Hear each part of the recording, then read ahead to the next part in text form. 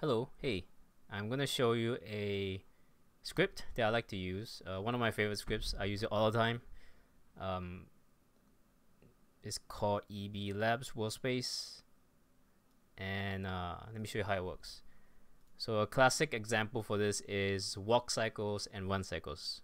How we typically animate walk cycles and run cycles, and when we first started learning walk cycles and run cycles, we would make them uh, run and walk on the, on the, the, the spot, right? A treadmill. And we don't usually use this in real uh, in in production. We actually make the character move forward in world space. And uh, the easy way to do this, I mean the simple way of doing it, is you just set a key on the main controller, right, and make it move forward.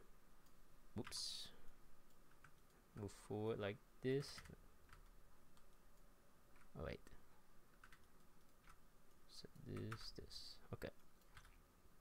I mean, this is the the how you usually change your treadmill walk cycle run cycle into a wall world space run cycle, right?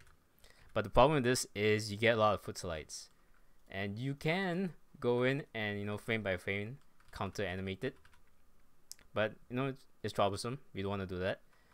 Uh, so that's why this where this tool comes in.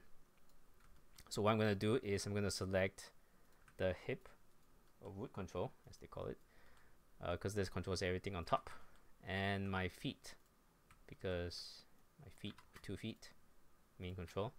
And we're gonna hit this button to world space it's gonna store everything into a temporary controller. See these three extra controllers that appear? And now I can make any changes I like and I can still keep my animation. So I'm gonna delete the keys on the main control I'm gonna delete all this. If I play back, you can see the characters moving forward and the main controls stay in place. Yay!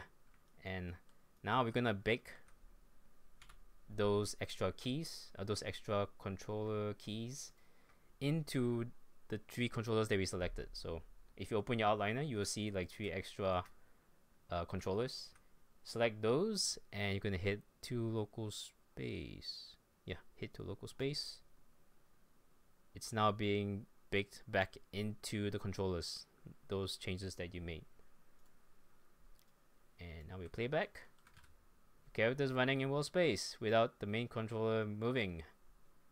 It's it's very useful when you have to change like parents as well. Like if your arm is parented to the hip and then you want to change it to world space anything like that.